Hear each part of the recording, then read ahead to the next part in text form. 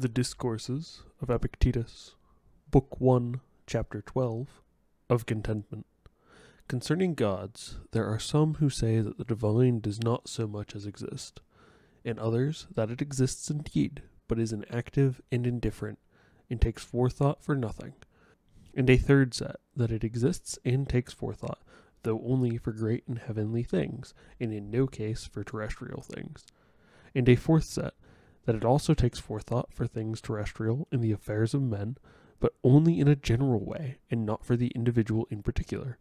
In a fifth set, to which Odysseus and Socrates belonged, who say, Nor when I move am I concealed from thee. We must therefore first of all inquire about each of these statements to see whether it is sound or not sound. For if gods do not exist, how can it be an end to follow the gods? And if they exist indeed, but care for nothing, how even thus will that conclusion be sound? But if indeed they both exist and exercise care, yet there is no communication from them to men, yes, and by Zeus to me personally, how even in this case can our conclusion still be sound? The good and excellent man must, therefore, inquire into all these things before he subordinates his own will to him who administers the universe, precisely as a good citizen submits to the law of the state. And he that is instructed ought to come to his instruction with this aim How may I follow the gods in everything, and how may I be acceptable to the divine administration, and how may I become free? Since he is free for whom all things happen according to his moral purpose, and whom none can restrain. What then? Is freedom insanity? Far from it, for madness and freedom are not consistent with one another. But I would have that which seems best to me happen in every case, no matter how it comes to seem so. You are mad. You are beside yourself. Do you not know that freedom is a noble and precious thing?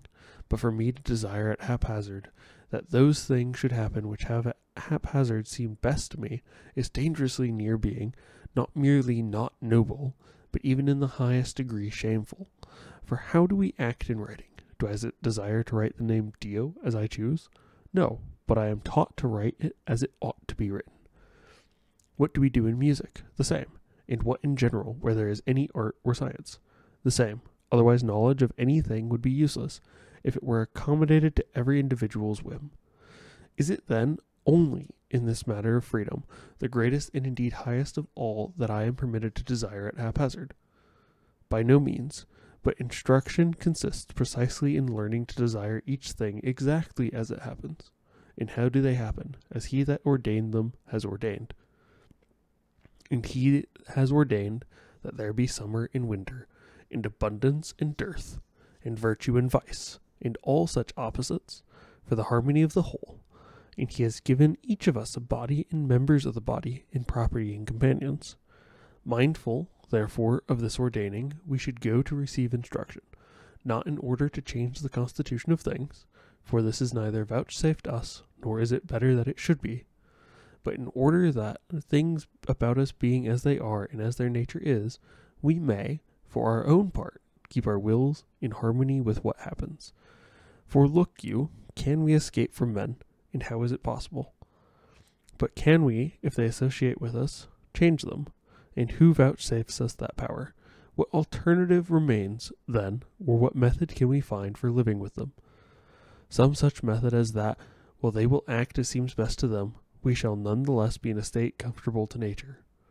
But you are impatient and peevish, and if you are alone, you call it a solitude. But if you are in a company of men, you call them schemers and brigands, and you find fault even with your own parents and children and brothers and neighbors. But you ought, while staying alone, to call that peace and freedom, and to look upon yourself as like the gods. And when you are in the company of many, you ought not to call that a mob, nor a tumult, nor a disgusting thing, but a feast and a festival, and so accept all things contentedly. What then is the punishment of those who do not accept? To be just as they are. Is one peevish because he is alone? Let him be in solitude. Is he peevish with his parents? Let him be an evil son and grieve. Is he peevish with his children? Let him be a bad father. Throw him into prison. What sort of prison? Where he is now, for he is there against his will, and where a man is against his will, that for him is a prison. Just as Socrates was not in prison, for he was there willingly. Alas, that I should be lame in my leg. Slave, do you then, because of one paltry leg, blame the universe? Will you not make a free gift of it to the whole? Will you not relinquish it? Will you not gladly yield it to the giver? And will you be angry and peevish at the ordinances of Zeus, which he defined and ordained together with the fates, who spun in his presence the threads of your beginning? Do you not know how small a part you are compared with the whole? That is, as to the body, for as to reason you are not inferior to the gods, nor less than they, for the greatness of the reason is not determined by length nor by height, but by decisions of its will. Will you not, therefore, set what is for you the good in that wherein you are the equal to the gods? Wretched man that I am, such a father and such a mother I have. Well, was it permitted you to step forward and make selection, saying, Let such and such man have intercourse with such and such woman at this hour that I may be born? It was not permitted you, but your parents had to exist first. Then you had to be born as you were born. Of what kind of parents? Of such as they were. What then?